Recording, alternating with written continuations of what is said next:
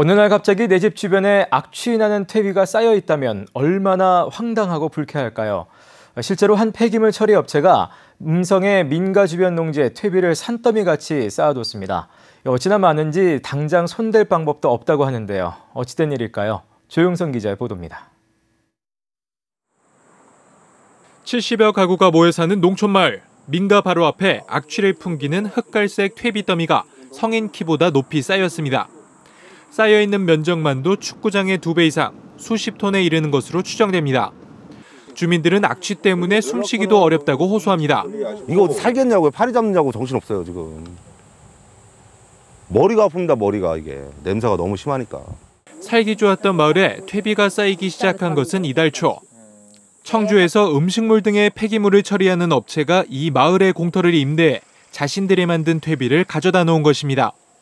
냄새도 냄새지만 지하수와 인근 저수지 오염마저 우려됩니다. 이렇게 보니까 시커먼 물이 개천으로 흘러내려가더라고요. 시커먼 물이. 그래서 이게 여기, 여기 근처에는 없거든요. 공장이나 이런 폐수가 나올 만한 곳이.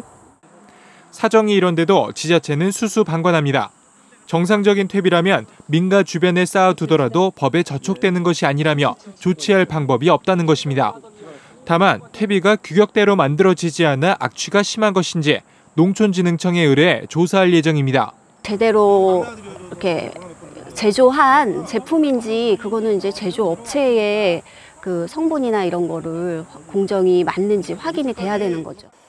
하루아침에 삶의 터전이 악취 속에 놓인 산골마을 주민들.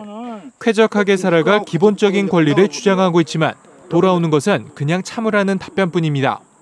MBC 뉴스 조용성입니다.